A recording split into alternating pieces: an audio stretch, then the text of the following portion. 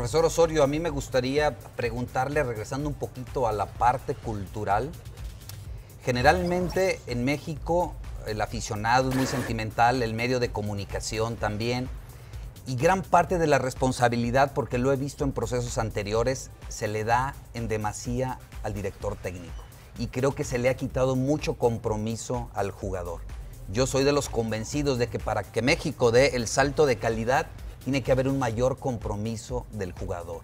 Es decir, no pensar solamente que el técnico es el que gana o pierde los partidos. ¿Estás de acuerdo con eso? ¿Qué opinión tienes del jugador mexicano en ese sentido? Totalmente de acuerdo.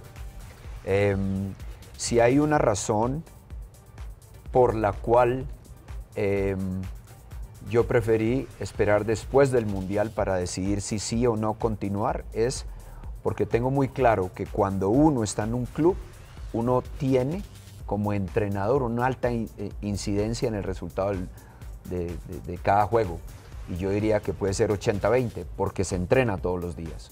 Cuando es seleccionador nacional, no se entrena, se selecciona y hay dos días para asumir un juego, para planificarlo, para prepararlo. Y como bien dice usted, Ramón, a mí me parece que el día del juego es al revés, es 80 o 90-10, los jugadores son los que más incidencias pueden tener el resultado.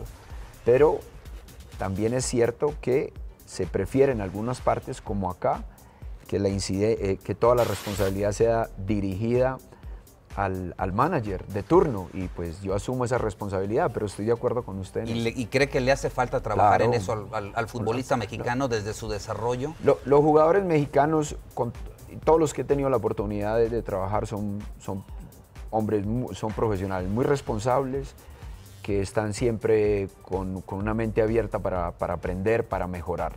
Pero nos hace falta a nosotros entrenamientos y los días de los juegos, obviamente que los jugadores tienen que eh, asumir la responsabilidad y tratar de dar no solamente su 100%, sino de asumir lo que es jugar por una selección.